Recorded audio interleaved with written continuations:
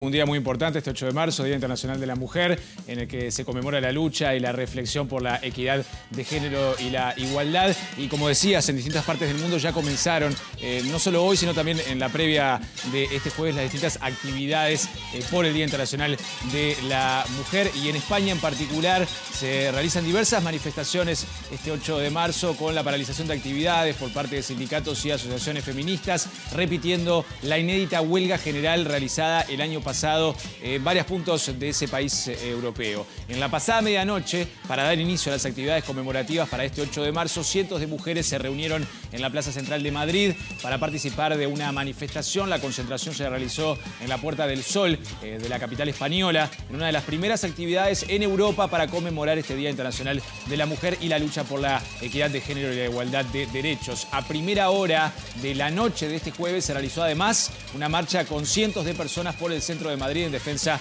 de los derechos de la comunidad LGBTI. Se esperan mayores concentraciones en España este viernes durante esta huelga general que se repite este año 2019 en un momento además en que la desigualdad de género se ha convertido en un tema de división en España antes de la elección parlamentaria anticipada que fue dispuesta por el gobierno para el próximo 28 de abril. Y mientras tanto, en Francia se entrega a esta hora el premio Simone Veil por primera vez en esta conmemoración del Día Internacional de la Mujer, en una ceremonia encabezada por el presidente Emmanuel Macron. La ganadora eh, ha sido Aisa Durmara, una eh, activista eh, congoleña, y el premio se lo entregó el propio mandatario galo. Simone Veil fue una venerada política francesa que sobrevivió al holocausto y llegó a ser ministra, luchando durante toda su vida por los derechos de las mujeres, la equidad de género y la igualdad. Veil falleció el año pasado. El premio se le entregó a Aisa Durmara eh, en forma de reconocimiento por sus acciones alrededor del mundo en favor de los derechos